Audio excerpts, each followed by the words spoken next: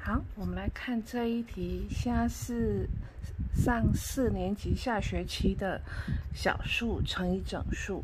好，把做法用算式记下来。一瓶果汁有二点二五公升，丁丁买了八瓶，喝了六点五公升，还剩下几公升？好，这里要注意所有的单位。好。一瓶是二点二五公升，他买了八瓶，喝了六点五公升。他问我们还剩下几公升？好，一瓶是二点二五，两瓶的话呢，总共几公升？是不是就乘以二，就是两个二点二五？三瓶呢，就是三个二点二五，就乘以三。这里他买了八瓶，我们就乘以八。好看，总共是几公升哦？好，二点二五乘以八。好，末位对齐。好，八五四十，写零进四。八二十六，十六加四，二十，写零进二。八二十六，十六加二十八。好，要来点小数点了。它这边两位，这边没有，所以我们就点两位，一位、两位，点。好，零去掉，零去掉。所以丁丁是总共买的十八公升的果汁，他喝了六点五公升后，还剩下几公升？喝了，那就是减。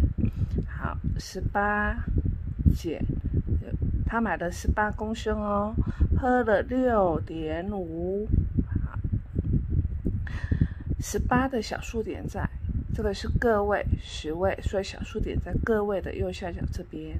好，减六点五，这个是小数的加减，之前学过了，复习一下。好，再讲一次，个位十位。小数点在个位的右下角这边，这个是十分位。好，小数的加点就是加减，就是小数点要对齐。好，我们这边补零。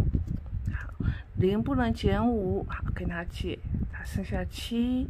好，接过来十，十减五等于五，七减六等于一。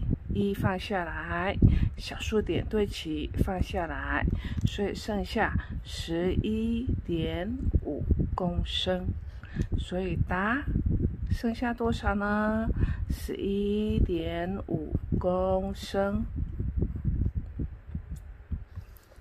好，再来看一下这边综合评量。